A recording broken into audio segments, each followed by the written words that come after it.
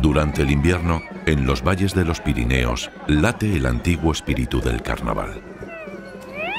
Hay toda una necesidad del hombre, de las sociedades, de romper la inercia del invierno para que vuelva a producir la tierra y el hombre también pueda perpetuarse. Es decir, la lucha de la vida contra la muerte, de la primavera contra el invierno. Si les gens, il y a très longtemps le monde rural, étaient confrontés, si l'hiver continue, on meurt. Donc euh, les réponses sont souvent les mêmes. Hein.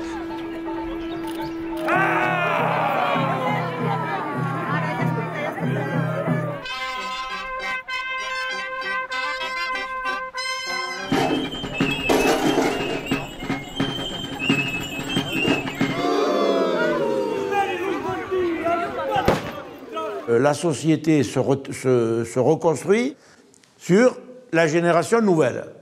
Donc la jeunesse prend le pouvoir, après avoir écarté le monde ancien.